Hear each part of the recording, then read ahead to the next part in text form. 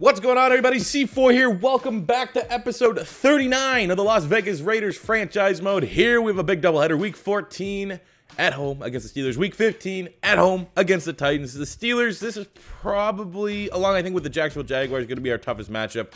The close of the season, but we're 8-3 and 1. We have a tie that separates us as being the top dog in the AFC West. And I actually just made a roster move. We had a free spot. So what I decided to do was maybe just maybe get our next John Ross. I you know, I don't doubt it. I, I don't know. But DJ Chark was chilling. 6'4, 94 speed of the Jacksonville Jaguars. So I went, you know what? Why not? He, you know, if we get some injuries or stuff down the stretch, knock on wood if you're with me. But you know, we had some in. We lost John Ross week 17, and we, you know, we had to find other guys to come up, step up, elevate their game. So I think just having Chark on the roster, it's just nice security blanket. Even though we know we're probably unlikely to resign him, but it will be interesting to see how he feels and fits out there, especially with John Ross and CeeDee Lamb. So we have a big game here up against the seven and five Pittsburgh Steelers to kick off the episode. When you look at the Steelers, man, it's just all these big name teams, generally speaking, aren't nearly as strong as our Raiders team. They got Juju Smith-Schuster as their superstar X factor, David DeCastro, who's you know one of the best interior offensive linemen in the league, I think top two, top three. T.J. Watt's mean. De Devin Bush has enforcer. So you know they got they got some they got some good players. They're an 85 overall. So you know you look at the name value. We beat the Seahawks. We beat the we beat the Rams, but like these teams here, what the, saying the Seattle was an 80 overall, the Rams are an 81. Like just we're year four. A lot of these teams are drastically different than how you know, recognize them right now in real life. So the fact that the Steelers are an 85, I'm expecting this to be a little bit tougher than what we've been experiencing. I have modified the gameplay sliders just a little bit to make it more difficult for me while still not having this game be at a spot where it's just unplayable like it was uh, since the October patch. So we, you know, we de we definitely decreased the pass defense reaction time, the interceptions for the computer, because linebackers are kind of starting to feel like super linebackers. But we have upped run blocking by five. We've upped the AI QB actually just a little bit, even though you know it doesn't really need to get fixed because more often than not, the, the AI computer, whatever you want to call it, quarterbacks are completing like well over 70% of their passes against me. But I'm trying to hope maybe, like, there's the, the worst thing about sliders is that you're never able to fix play calling, right? Nothing like up making quarterback actually 99, you still won't have any effect, or, or same with pass blocking or catching over the plays that the computer calls, the nonsensical runs, just throwing it to the ground when even there's a guy wide open. Like just bad decision making. You can't fix that in the sliders. I wish you could, but you can't. All you can hope is that by playing on all Madden, you're gonna get you know the best play calling available in Madden 20. And that's kind of where we're at. So without further ado, let's get into this game here against the Pittsburgh Steelers and try and get our ninth win of the season. Third and one, they're bringing the blitz. They already feel like a much better defense than what we've been going up against, and they get the stop. Uh, not too often Josh Jacobs doesn't come through. We'll punt it away.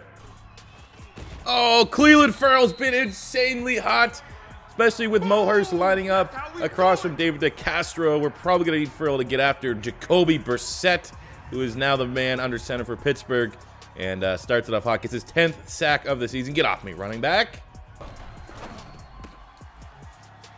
Oh, no. Oh, no. Come.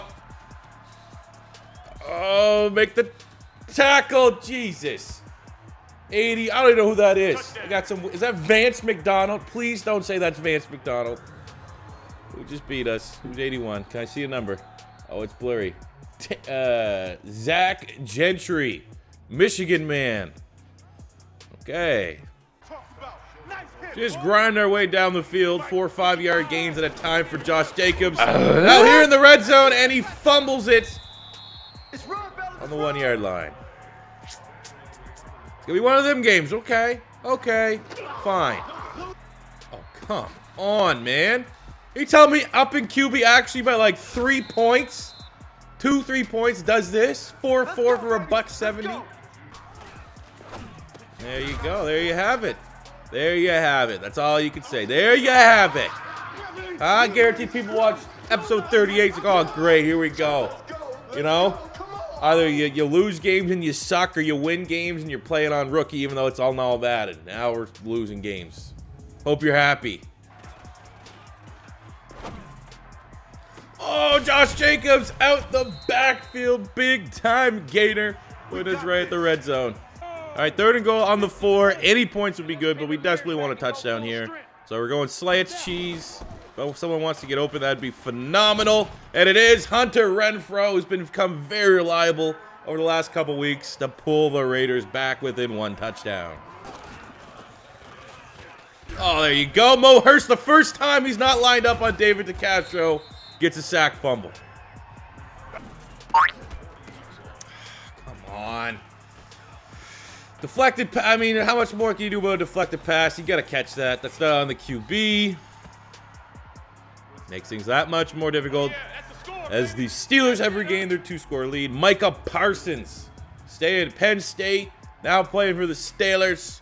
Gets a pick six. A pretty bad deflection from CeeDee Lamb. Gotta come down with that.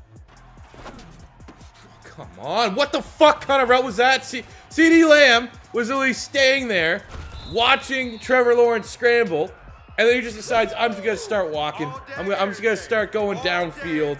When in reality, he has to come back to the ball, and any competent wide receiver would come back to the ball, let alone a wide receiver that's a superstar X factor and almost 90 overall. Look at this. Oh my God, 85. You're we gotta we gotta get a deep dive here just to make sure that wasn't wasn't a great pass, but that was more way more on the computer than it was on me. Watch this shit. All right. So we got Trevor Lawrence here scrambling. Look, 85 just standing there, eh, well ahead of the corner, right? We're trying to see if something will open downfield. But look, right now, clearly, he has about three yards. If he comes back to that ball, still standing there, and then as soon as we get ready to throw the ball, he just, oh, I'm going to get a full-on sprint here. Yeah, full-on sprint. That's, ah!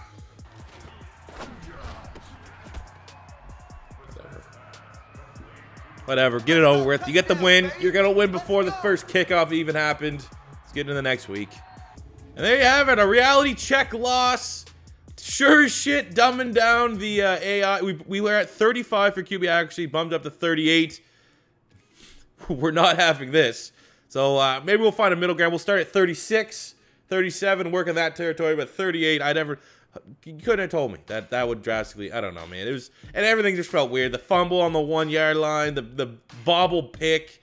Uh, there's a lot of RNG into this game. I felt like, but anyway, it's a reality check loss. Three picks on the day for Trevor Lawrence, trying to force it. It was a rainy game, but we couldn't run the ball to save our life, so we had to throw it. Um, Renfrow had an okay game, eight catches, 103 yards, and a touchdown, but that's checkdowns. The only thing we complete were checkdowns. Our three big checkdown targets all had decent games.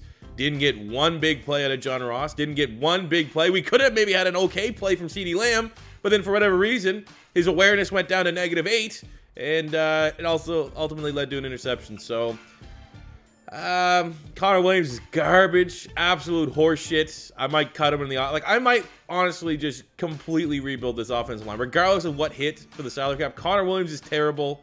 Uh, looks like Rodney Hudson's going to be walking if we don't franchise tag him. Trent Brown's walking. So, you know, really John Runyan.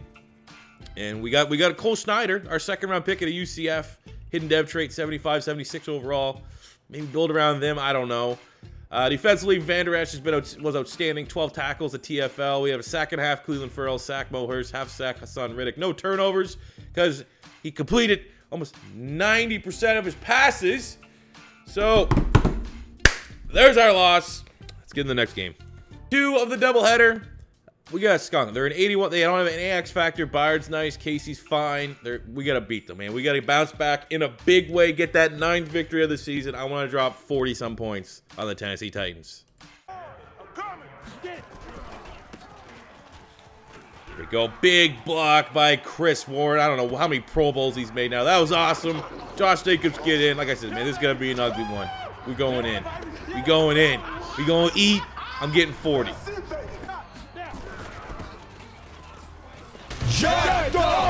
Oh, that's just Kevin Byard got ran over by a freight train. There, That's their best player on the defense side of the ball. I mean, he needs to check himself out of the game after that one. That was embarrassing. Let's get a replay of that because that is the Juggernaut doing what he does best. Getting to the second level and just being disgusting. Oh my god. Put him in concussion protocol. And there you go. Oh, you got whoever that is. I hope that's not Pat Pete. I don't think it's Pat Pete, but it might be Pat Pete. He old and slow. He can't keep it. I told you, the 40 bomb's coming.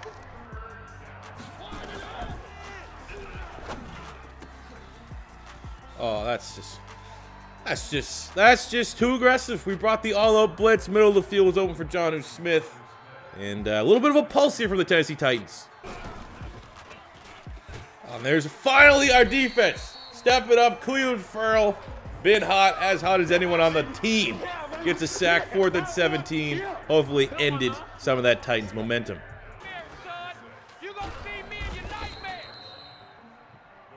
I think that's the third sack Connor Williams given up. And we're just over a quarter play.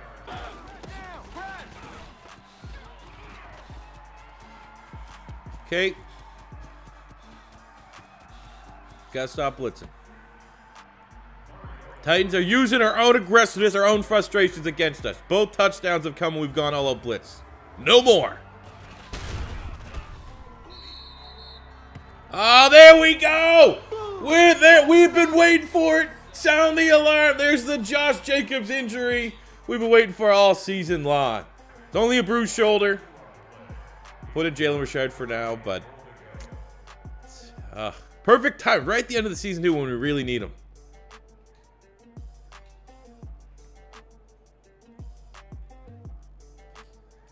All right, it's time for everyone's favorite play. Slants cheese here, third and goal on the four. Just don't want any turnovers. I feel like any points right now would be huge for our team. Renfrow wide open across the middle.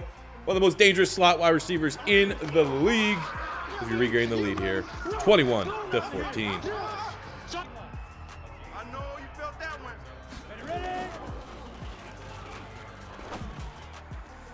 Oh, there we go. Anytime our offensive line can hold up for like more than three seconds, John Rogers, CeeDee Lamb, one of them's going to be open. So I really do think we could go undefeated if we didn't have Trent Williams and Connor Williams. Trent Brown and Connor Williams as our offensive linemen. That's a dart. That's beautiful. We already broke a 1,000 yards today for CeeDee Lamb. I think he's at like a 1,030. Might get our second 1,000-yard receiver on the season with John Ross, given how he's dominating this game against a rather slow secondary. Even though they have Adoree Jackson, they just can't match his speed right now. Mariota's slanging that thing right now.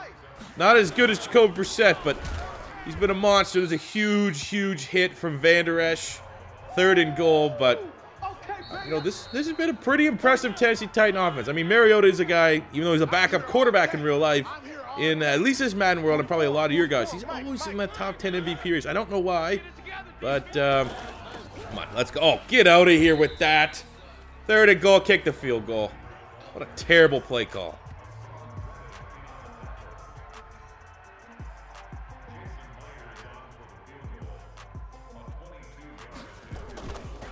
Oh, how dare you! How dare you! Watch 54, watch 54. They gonna need some There we go. Finally, CeeDee Lamb has come back to relevance.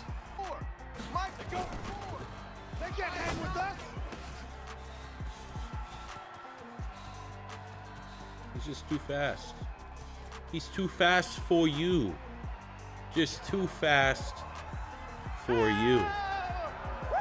And there's just 1,000 yards on the season. Oh, let's go!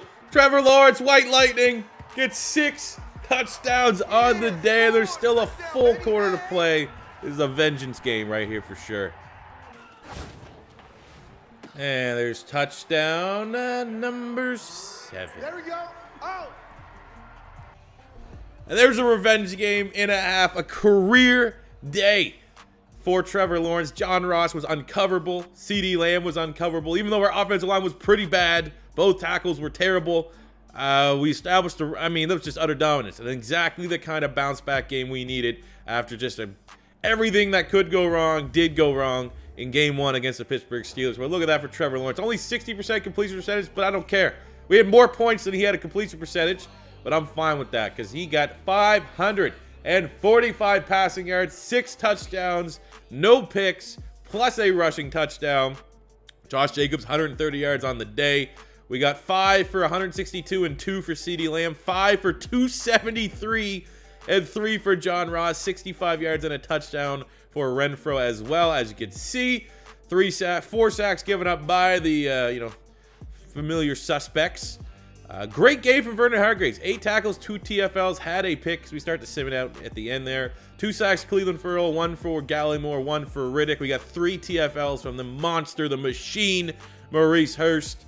Uh, Hargreaves and Abram both had interceptions on the day as we drop the 60 bomb on the Tennessee Titans. So that will do it for our doubleheader of dominant performance week 15. Trevor Lawrence is your AFC Offensive Player of the Week with that seven touchdown performance, even getting sacked five times. I feel like it's all. I mean, look, hey, Jimmy Garoppolo actually had uh, got a, got a lot of pressure in his face as well, but that is an outstanding performance. Seven touchdowns. I don't think there's six from. I don't. I think that's the most touchdowns scored by a quarterback this year. There's a couple six bombs there. Let's see here, just make sure that that was the most dominant performance that we've seen so far. Um, six tutties. Anyone beating six four for Lamar? Six touchdowns. Not seeing six. I'm not seeing seven for sure. Shit, not seeing seven. Five for there for Mahomes.